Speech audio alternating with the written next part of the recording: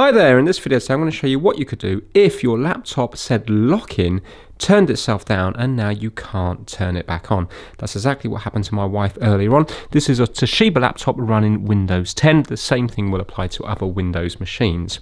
So basically it is now plugged into the Toshiba power supply here, but yeah, there's no lights on it whatsoever and it wasn't turning on it was completely dead so apparently she was using it it came up with lock-in and then it shut itself down and now it's completely dead believe it or not I looked at this for about 20 minutes before I worked out the problem. Hence the reason I'm doing a video because maybe it might be as simple for you as it was for me. Obviously, if there's a hardware issue with the laptop itself, this isn't going to fix it. But if it happened to me, it's going to happen to many other people.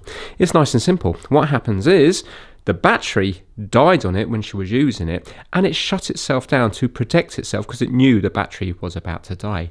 Then when you plug in your power supply, it should work. But in this instance, the power supply has failed and that's the reason it's not working. The laptop itself is absolutely fine and operating like it should be. So watch this. If I get another Toshiba power supply, this one here is the same voltage as this one here. If I plug it in, both 19 volts and also it's the same barrel jack at the end. Watch this. Plug it in here and all of a sudden it comes to life. I've got a little light here now and if I turn it on it will work perfectly because we're putting charge back into the battery. Right, well, how do you test your one? Well, it just depends if you have a multimeter. If you haven't got a multimeter, you're going to find it hard. Or, hopefully, you might have other power supplies with the same barrel jack on them and the same voltage. If you're wondering about the voltage, if you look closely at them, you can clearly see Output 19 volts DC, 3.42 amps. It doesn't matter that the amps are slightly different.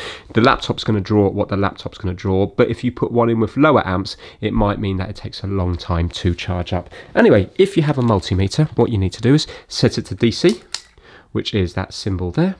And we need to go onto the barrel jack we're going to put the black one on the outer probe and the red one on the inner one in here.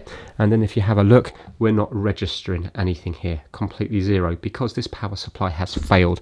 Well, if we go onto this one here and do the same thing,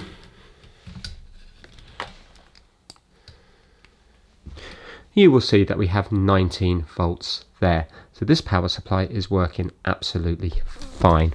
Now, if you put it in the wrong way, it doesn't matter. It's just going to come up with a negative reading on your multimeter. You can see there the minus symbol before it.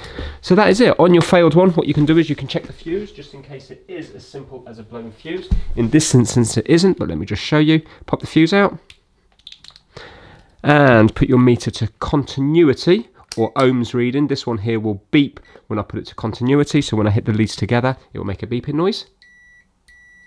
And if I go across the fuse, you can see the fuse itself is okay. So it's not the fuse, it is the actual power supply that's failed.